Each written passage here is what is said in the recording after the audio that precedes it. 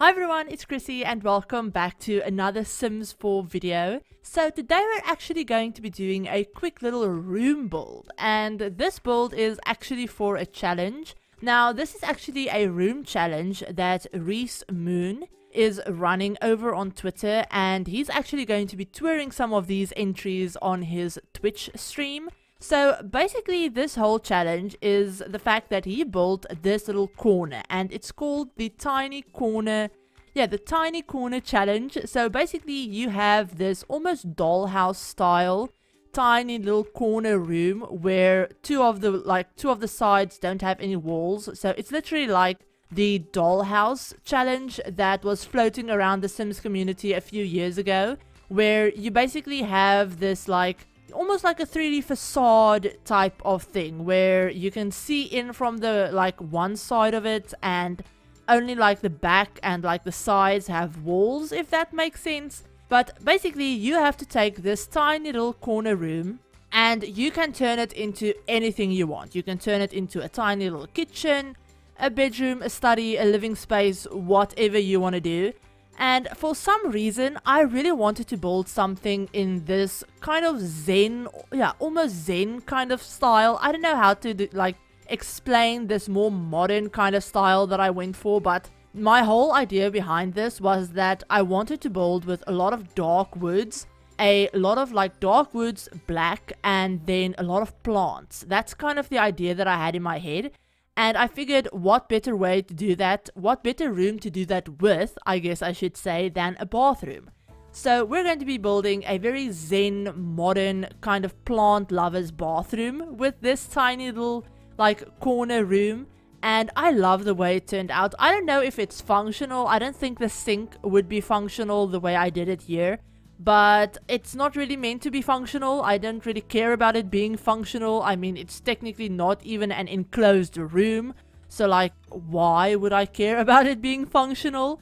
So, yeah, it's basically all just for aesthetics. And I had a lot of fun with this. I had a lot of fun with just cluttering up a few of the things and then adding a crap ton of plants because, yeah, I wanted this to look like a plant lover's, like, almost zen kind of bathroom and I love the way this turned out like I'm using the tub from the Snowy Escape pack and then I'm using a lot of Spa Day as well. So I'm using like the Spa Day counters and cabinets I think and then I think the toilet might also be from Spa Day. I'm not exactly sure so don't quote me on that one. But yeah, I'm, I'm using just a bunch of different packs because we are allowed to use whatever packs we want. So yeah, I'll leave Rhys's Twitter and his Twitch where he's going to be touring all of these builds. I'll leave both of those down below. I'll also leave the hashtag that you can use to find his original like corner shell as well as my build.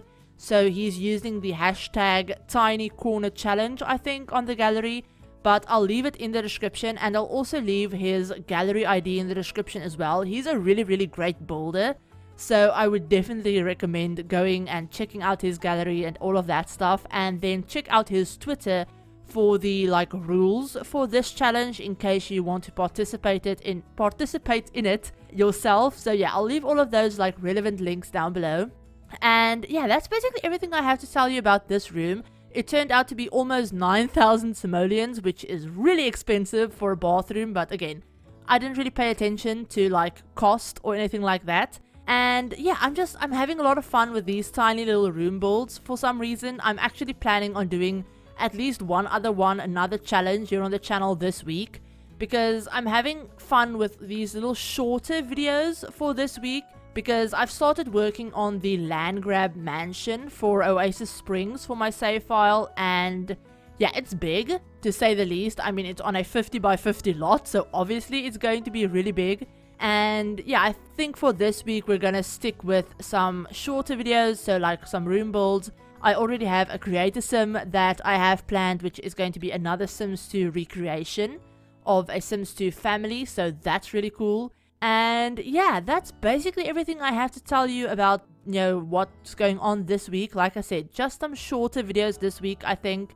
And yeah, I'm gonna be doing a few more room builds because yeah, I'm having a lot of fun with them and they're kind of nice to do you know, whilst I'm working on this really big mansion. And the mansion will probably be like two parts as well. So like an exterior and interior because yeah, it's big. It's it's very big and it's going to take me hours and hours to complete. So yeah, there's that. But we're almost done with this bathroom. I'm just adding a little like like bath shelf kind of thing, which I love the way this looks. And yeah, I'm, I'm basically done with this voiceover. So I hope you guys enjoyed this video. If you did, give it a like. And if you're new to the channel and you'd like to see some more Sims content, feel free to hit the subscribe button and remember to turn on notification bell as well to be notified of whenever I upload a new video.